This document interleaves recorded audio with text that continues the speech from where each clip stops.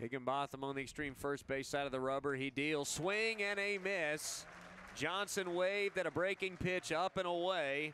And the Higginbotham way ahead. He kicks in the 0-2. Swing and a miss. He pulled the string on him with a breaking ball. That's good morning, good afternoon, good night for a big second out. Beer. Withers straightens, he delivers, and Beer hits it high in the air, back in a deep left, chasing the ball's bending and crashing into the wall, looking up, gone. A home run for Seth Beer, and that ball had some kind of bend on it, It as Parrott just fell over himself trying to get back there. It's good for him that the ball went out, otherwise he would have had some splaining to do. But Seth Beer leaves the yard for the second time, going opposite field. Count now Tigers with runners at second and third, and Pinder grounds it to short, and Carroll it ate him up, and he'll have no play, and the Tigers tack on another. Here's a 1-0. Hit on the ground, shortstop, and Carroll can't find it. He knocked it down, throw to first, not in time. He backhanded it, checked his glove, it wasn't there, it was at his feet and it took him a minute to find it.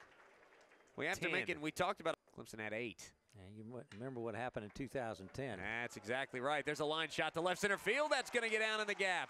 One run is in. Rohlman's got a double. Stopping at third is White. So Pinder scores, and that's five to one. Another five-run inning, like we talked about here in the second. Carolina at first, and he's going a slide step, throw to the plate. Runner going, throw down. He got it. I mean, he got him by a step and a half. That was brilliant work by Higginbotham and by Okey. Here's the 2-0. Ball well hit, left center field. It's heading to the gap. One hop, two hop. It's off the wall. Uh, Renwick will score easily from second.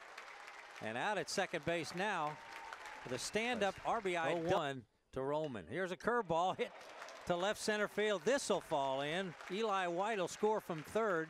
And Rohlman's two for three and another RBI. And now you don't feel bad about the ball because no, he would have scored anyway. Yeah, he would have scored. 1-0 the count. There's a ball hit through the hole on the right side. Looks like coming around second. Here comes Okey to the plate. And another RBI for the freshman. And another oh base hit. Now. Curveball swing and a miss. He struck him out. And that takes care of James Madison here in the fifth. No runs. There were no hits, no errors, one runner. Just like it did when the game started. Here's the one-two, swing and a miss. Kind of a weak swing there. He was really fooled Second. on a curveball. Five and three in the fourth. There's a ball well hit left center field. Will it fall in? It does. It's going to roll all the way to the fence. Center fielder dove for it. It went under his glove. Here comes Seth Beer and sliding into third with a triple, an RBI triple is Andrew Cox. Campbell just a pitch away from getting out of it. The payoff pitch here comes. Swing and a miss. He reached back and dealt 95 to him.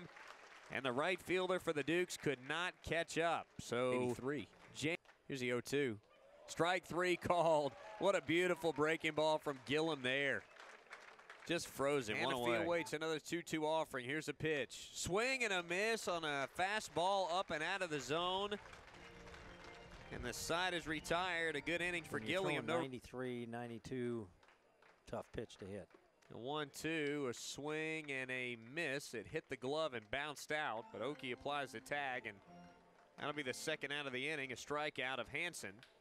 Bostic winds and deals. And McPherson hits it sharply to second, should end it. Wilson fields, throws to first, and that'll do it.